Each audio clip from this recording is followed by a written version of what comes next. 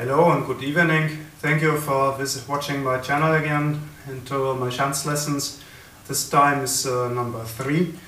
Um, the last uh, I introduced a technique called tremolo or tremel and uh, some basic uh, in the first lesson we saw some basic techniques for plucking without using the fingers. Um, for today I want to stay a little bit closer with the original book and uh, we will also go into something more interesting later. This is uh, usage of fingers and strings. Um, in the book, in the Dashtulan book, um, the strings are numbered like the high string is number one, the middle string is number two, and this string is number three. And uh, we also have finger numbers, um, one, two, three, four. Or again, uh, sorry, one, finger number one, finger number two, finger number three, finger number four. Um, this is also illustrated in the book. Here you see one picture from the book. And there you also see one other picture like that, where the finger positioning is illustrated.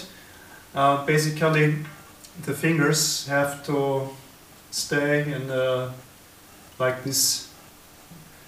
And this is the reason is that there are distances for this is just sort. Then you want to play in ya. C, not C bemol, C bemol is here. But forget finger number two. Today we will go only on one finger one, three, and it's here. This should be a sort. So. And on the middle string we have only two finger positions.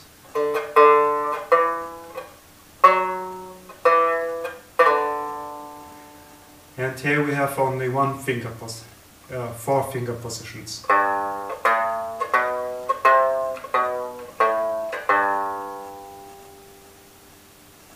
So now we will make a step further.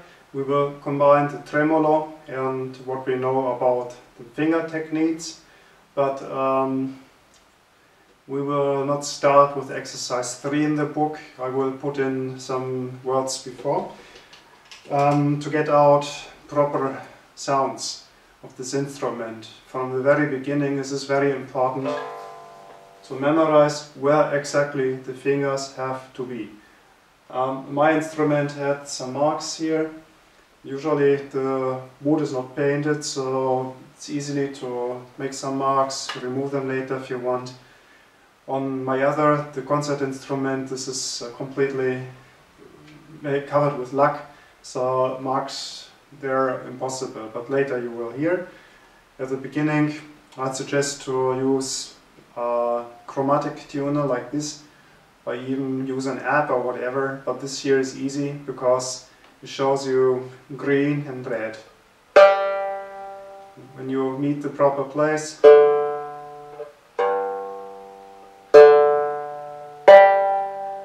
there will always be green. So it's green again, yes.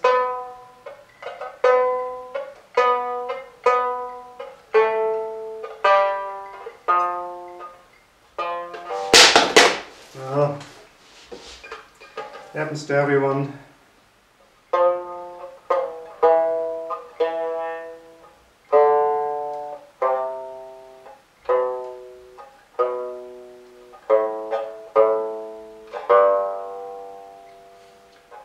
Don't get crazy about this. There's one more thing to regard. Um, the place where to where to strike, where to plug the strings should be in the middle between here and here.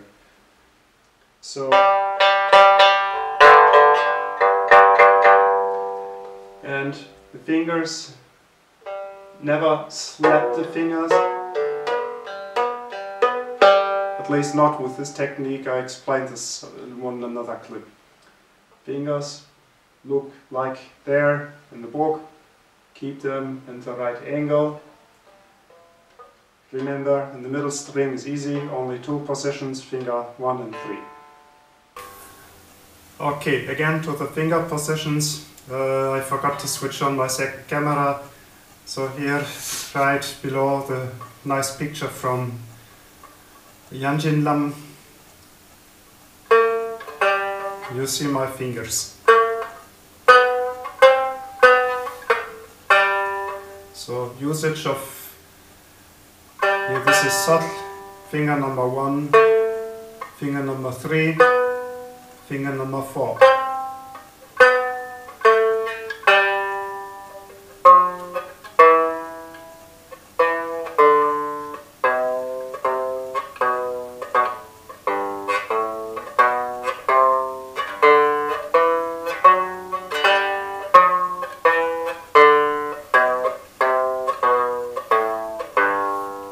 There is one more interesting thing.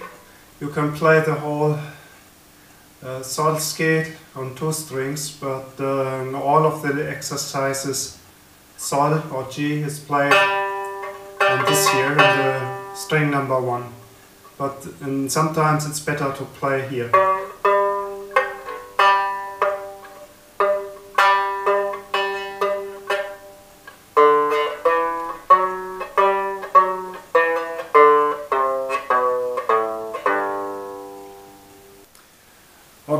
Here's a uh, small exercise for finger usage. I give you all the detail and also the scores. You can play also with them muted in the video. Okay, let's see.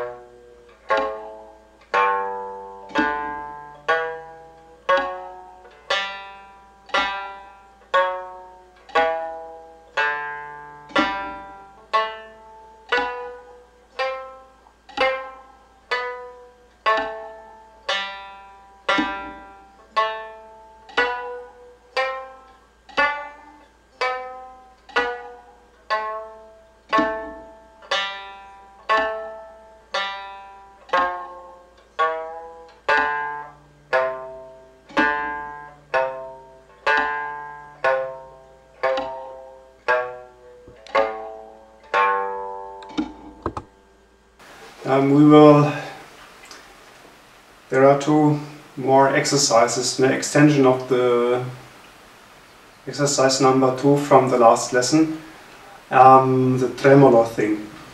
Um, tre, let's say in the book, it's a little bit uh, different. Uh, the real exercise, which is, uh, let's say, difficult, but people need to understand that's at the end. So, what I call this exercise 2b, um, I will put this in the first place because this points out the importance to play the quarter notes properly. The quarter note is basically 4 16, 4 16th, and uh, the last you just leave one very little amount of time blank.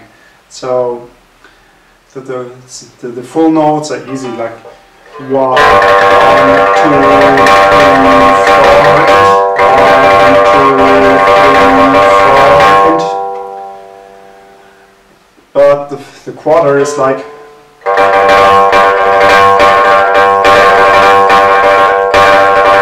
There's always small gaps between. Okay, so let's try together exercise 2b. Then we will go to exercise 2a.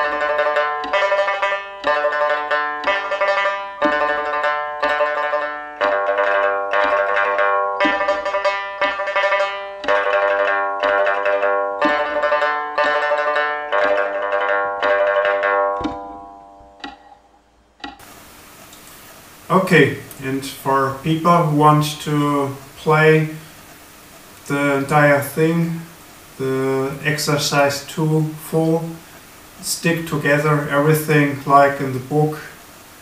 Um, you will get this here now in the clip, YouTube clip. There will be only the metronome clicks and the highlighted notes. You play. Okay?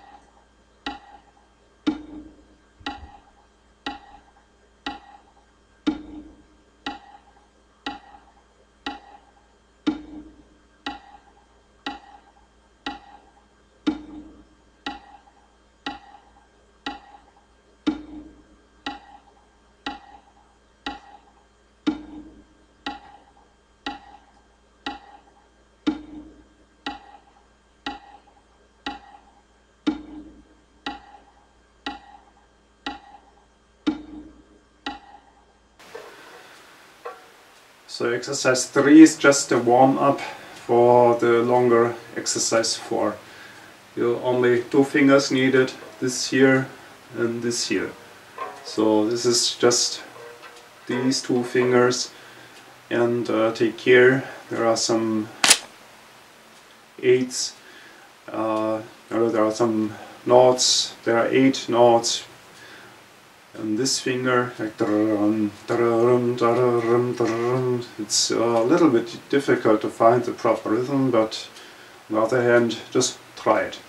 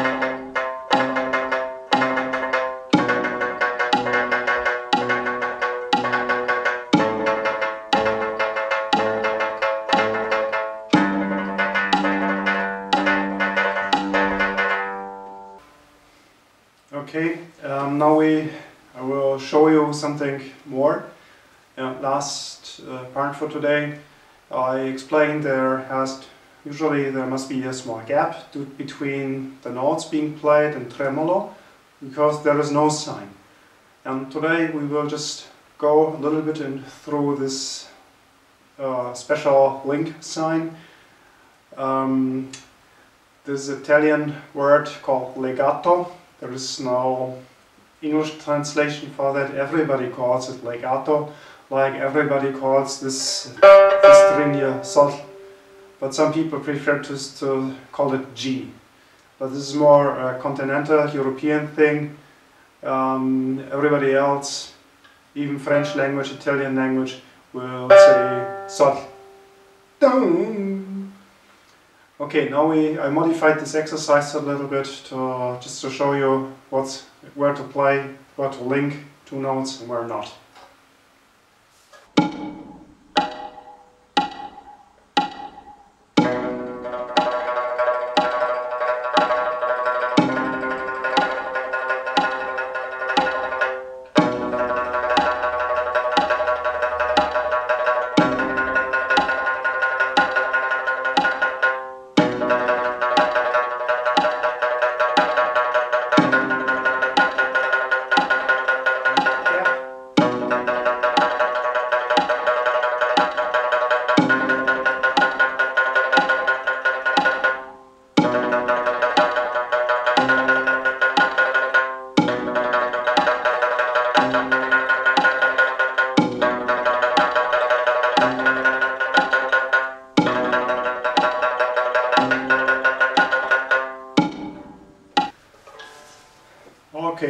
Thanks everybody for watching my lessons.